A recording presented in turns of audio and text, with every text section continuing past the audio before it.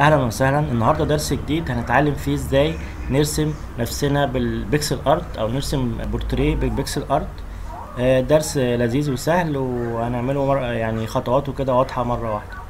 طيب أول حاجة بن بندخل الصورة بتاعتنا في البرنامج بنشدها كده.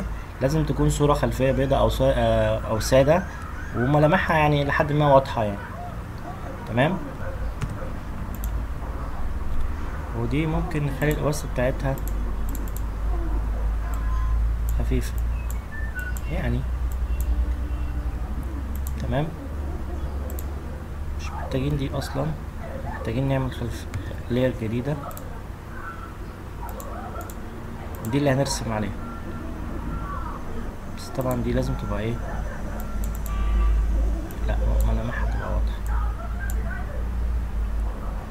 تمام طيب نبتدي بقى نرسم. قبل ما نرسم محتاجين نعمل ال- ال symmetry بمعنى إن ال symmetry لازم يبقى أنت بدل ما ترسم الوش كله هترسم نص الوش وهو بيرسمه أوتوماتيك الناحية التانية. زي ما أنتوا هتشوفوا دلوقتي. اختار